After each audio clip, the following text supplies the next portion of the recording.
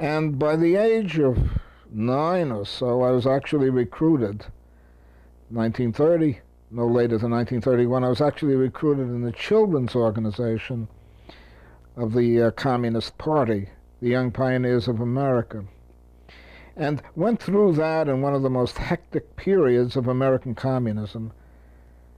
That period was one of continual insurgency. The Communist Party and the Communist International, despite the fact that Stalin was coming to power and his power wasn't absolutely assured as yet, it was not to be assured until five or six years later with the Moscow trials when he killed off all the old Bolsheviks. But before that period, between, say, 1930 or 31 and 1935, the United States, the Communist Party, and the Communist movement generally in the United States was in its most insurrectionary phase. We'd go from one demonstration to another demonstration and fight the police in New York City. And with the Depression, we had great hunger marches. Thousands would rally in various parts of New York and march towards City Hall, New York City Hall, with bread banners and slogans like, We want bread, not war, or we want butter, not guns. Slogans that you could have heard in 1848 or in 1789 in the French Revolution.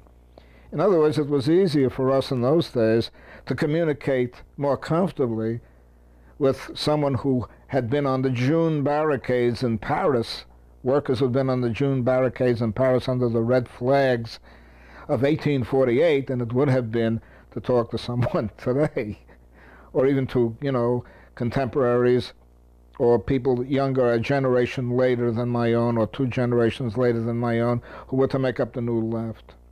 So that old left that everybody talks about had some very limiting, limiting features about it, but it also had enormously expansive features about it. It had a rich musical heritage. It had it felt it was really completing the French Revolution of 1789 to 1794. And we all modeled ourselves, even the Bolsheviks in Russia modeled ourselves on the French Revolution, the whole cycle of the revolution. We thought in terms of a class struggle of the working class, the proletariat, industrial proletariat, which was very numerous at that point in the United States. In the 1920s, the assembly line had come in. We didn't have that before, not quite in the form that Henry Ford produced. And workers and unions and everything like that, and workers' parties, the word worker, proletarian, was on everybody's lips. So it was a period in which we had a very coherent analysis of the working class taking power, establishing a proletarian dictatorship, which we thought would be more democratic, in fact, than the American Bill of Rights, for example, because now the people would control the press, not the uh, oligarchical few capitalists.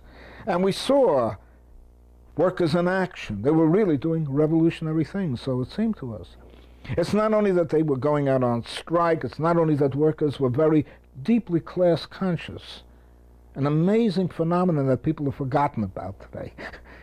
workers knew that they were workers. They called themselves labor. They called themselves workers, and in the most radical cases, they called themselves proletarians, and that would not have been alien to most workers in industry, mines, uh, in many cases, even craft type workers. We used to have cigar workers working right out in the open uh, in little cigar stores wrapping leaves of tobacco. We had craftsmen all over. We didn't have, incidentally, the giant supermarkets and the uh, corporate type of retail outlets that we have today. In those days, everything was a mom and pop store. And you knew everyone in the neighborhood. We also had open air meetings, soapbox meetings, as they used to be called, where regularly, almost every day of the week, if the weather was reasonably clement, somebody would be on a stand talking about revolutionary ideas and talking about all kinds of class issues dealing with class struggle, with socialism, with communism. And unfortunately, at that point, we didn't have very much anarchism around. The anarchist movement had more or less been overshadowed by the communists and the socialists. Remember well that in 1932, in the depths of the Depression, Norman Thomas, the socialist candidate for president, got more votes, almost a million votes, than Eugene V. Debs did in 1912, which was regarded as the heyday of American socialism, and that the communists got another 160 or 170,000.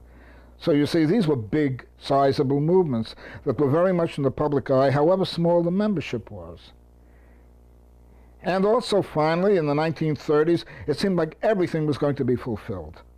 All our dreams as Marxists and as revolutionaries were going to be fulfilled. Terrible as the Depression was for so many people in the United States, for us it was something different that had meaning. The Depression, despite the economic deprivation every one of us saw, felt very personally. And I saw my furniture in the house out on the street every three months because of rental evictions, which was a standard routine during the Depression. At times you'd see a whole block covered, you know, the sidewalks covered with the furniture of people who were being evicted from their apartments for non-payment of rent. And I knew what it meant to go hungry, even for several days. The point, point is that despite this kind of material deprivation that many of us radicals in those days felt, particularly communists and socialists, and I guess anarchists, uh, we still felt exhilarated.